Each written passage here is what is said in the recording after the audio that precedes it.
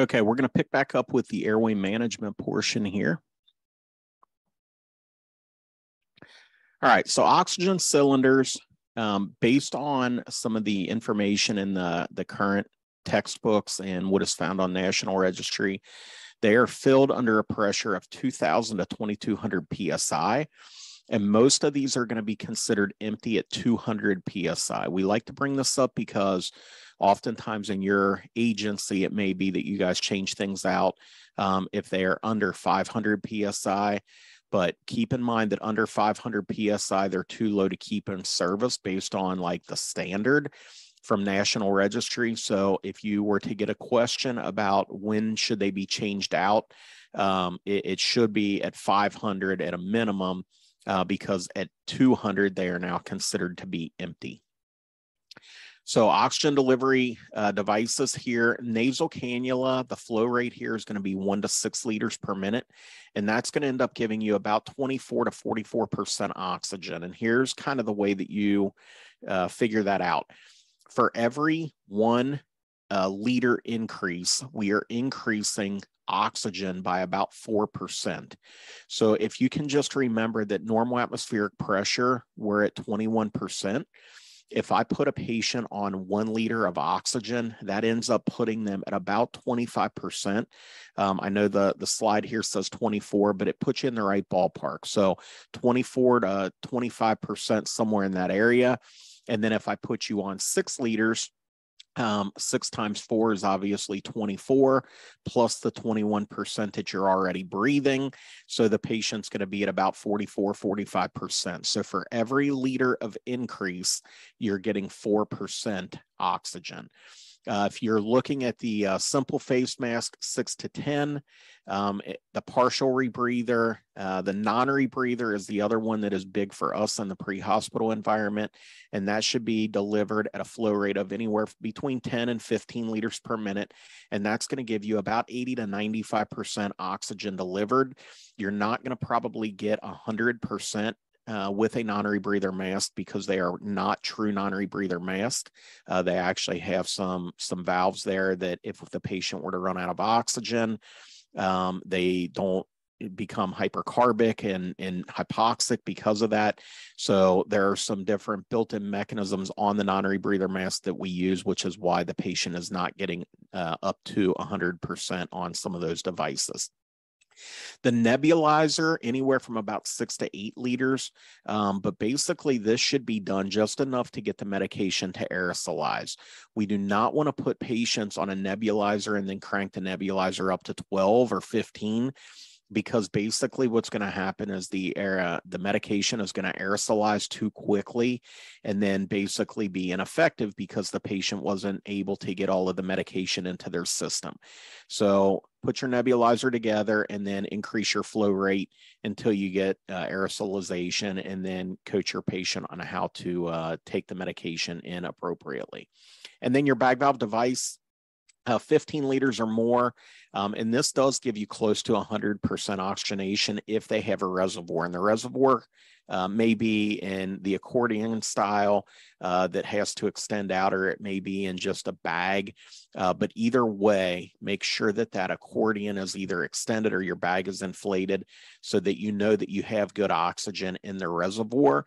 If you do, that will deliver upwards of 100% oxygen to your patient if you are bag valve assisting a patient um, with a flow rate of 15 liters of oxygen and your reservoir is not inflated or extended, depending on what type of device you're using, uh, then the patient is not getting 100%. They're getting about 40 to 60% oxygenation. So you can see it as a, a, sub, a substantial reduction. And that is why we want to make sure that we uh, have the reservoir the way that it is supposed to be. All right. So if you're not familiar with the uh, reservoir, this is the reservoir that I am talking about here. I'm kind of highlighting it uh, with the screen uh, on the or with the with the mouse on the screen.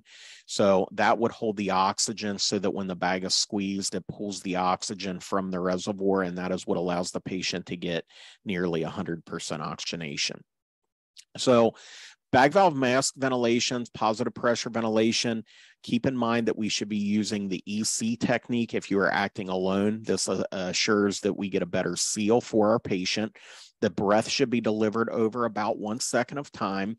We're going to squeeze the bag until we can see that the chest rises, and then we would release the bag, allowing the chest to, to fall. The average tidal volume is about 500 cc's in an adult patient, and the bag will hold anywhere from 1,000 to 1,600, depending on the manufacturer and who you get the bag from. So you do not need the entire bag um, in order to ventilate the patient. As long as you are delivering your breath over about one second and you see the chest rise, uh, then we know that they have an appropriate volume.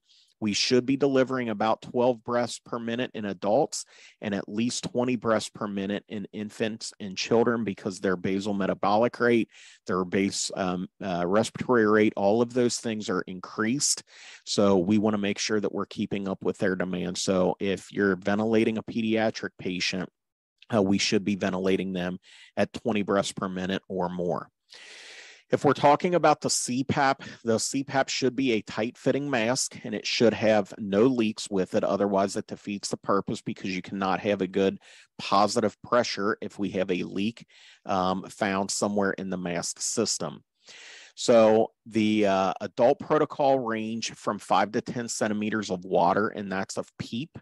If you're not familiar, um, the, and they won't test you on like a specific device because there's too many devices out there, but you could in fact get something that, you know, what would be an average PEEP for a patient that is on CPAP and and the answer would be somewhere around five to 10 centimeters per water and these are adjustable PEEP valves here you can see the top blue is five, the yellow is seven and a half, and then the green is 10. So you would simply turn this dial up at the top to change uh, what your uh, PEEP setting is for this patient. Some indications for your CPAP. And remember, first and foremost, that your patient should be alert and oriented. Um, so what we do is we say, get the FN CPAP, okay? So it's a, a critical situation uh, potentially. So we need to make sure that we uh, are getting the CPAP um, and, and telling somebody to get the CPAP and get it placed pretty quickly. So if you can remember the mnemonic FN CPAP, it's flail, near drowning, COPD, pulmonary edema, and pulmonary embolism asthma and ARDS, and then pneumonia. Those are the reasons or the indications for when we would want to use CPAP. We feel like you should know the Mallampati score. The Mallampati score is a class one up to a class four. Um, and this is a terminology thing so that hopefully if you see Mallampati on your examination, you're aware of what this is and you would be able to pick it out. So a class one is the best. This would be prior to doing direct laryngoscopy, especially if you're going to be in a situation where you're paralyzing a patient. We want to make sure that they have a good class one Mallampati. Not to say that the others would be prohibited from doing a paralyzation, but clearly you're going to have a better success if they have a class one Mallampati finding. If they do, you would have complete visualization of the soft palate. That is the definition of a class one Mallampati. Class two, you can see obviously the tongue kind of comes up and it's covering more. You're not able to see the entire uvula. Um, so we're going to have a little bit more difficult intubation in this situation.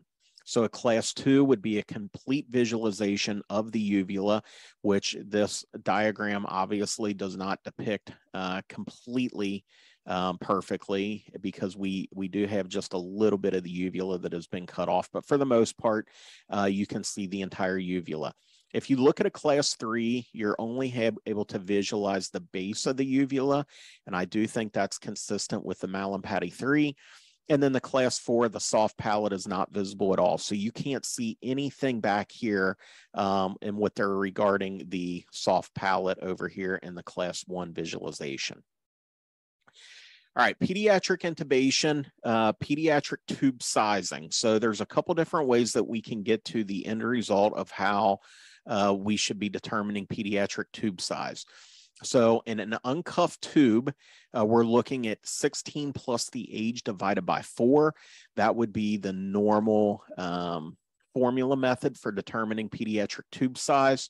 If they are using a cuffed tube, which has now kind of taken favor uh, by the American Academy of Pediatrics and the American Heart Association, you may find that you're now uh, intubating with a cuff tube in PEDS, uh, which we previously did not really do. And that is 16 plus the age divided by three and a half. So what I think that you should be familiar with here is the, the top one, the 16 plus the age divided by four uh, would be the one that I would commit to memory prior to going in and taking your registry exam. Um, if we are measuring the depth of the endotracheal tube, it should be multiplied by three. Okay. So, what I mean by that is let's say that we've done the math for the uncuffed tube and we came up with a size 4.0 ET tube. If I am intubating my kid with a 4.0 and I multiplied four times three, that would give me a number of 12. So when I would intubate my kid, I should have it at 12 at the lip line. And if you think back, this is good for um, adults and pediatric patients. This was actually a study that was done and published in the Air Medical Journal many years ago. Um, and what they found was that if you're using an appropriate sized endotracheal tube and you multiply the, the tube size by three, that is what it should be at the lip. And if you guys remember back to when you were doing your field time, doing intubations um, or in the operating room and you're intubating an adult patient, what is the lip line for most adult intubations? It would be somewhere around 20 or 21 at the lip. And so that holds true in the adult patient as well. So if you were using a size 5.0 ET tube, then it would be 15 at the lip, et cetera, et cetera the diameter of the pinky finger or the diameter of the nare are kind of the fallback mechanism. So if you forget and, and you're in a real world situation, what size ET tube you should use, um, the remember that kids pick their nose with their pinky finger. So the, the pinky finger will fit inside of their nare because that is oftentimes how they pick their nose. So we are looking for an endotracheal tube that will measure up to the same size as the pinky finger or one size smaller than the diameter of the nare so that it will fit. Um, and then ultimately a length-based tape, uh, whether that be a Broselow system or a Handtevy system, depending on what you're using in your area. Uh, but again, for the most part, probably not going to be testable material uh, because they're now getting into to certain vendors, right? So what we're looking for here is making sure that you understand the formula and what a backup mechanism is so that you can select an appropriate sized ET tube. All right. So one of the things that we talked about at the very beginning was the cricoid, the thyroid, and the cricothyroid membrane. And in I think that this is probably the best place to kind of explain to you what I'm talking about. Um, if we're talking about doing cric pressure, a Sellick maneuver, or we're getting into a situation we're doing a burp maneuver. So if you look at the diagram, the way that I've always been uh, taught to remember and how I've taught for many years is if you're in an emergency department and you hear a physician order a CT scan, uh, what would you think that the CT scan is being ordered of? And most of you would probably say a CT of the head. So the way that I remember this is CT towards the head. And what I mean by that is the cricoid cartilage is on the bottom, the thyroid T cartilage is on the top, working towards the head. So if you can remember CT towards the head, you hopefully won't get your anatomy confused um, when you're trying to locate the landmarks. Now, if we told you in the field that you had to do a Sellick maneuver, the place that we do a Sellick maneuver is over the cric uh, the cricoid cartilage. We want to make sure that we are doing cric pressure, which is the other name for a Sellick maneuver.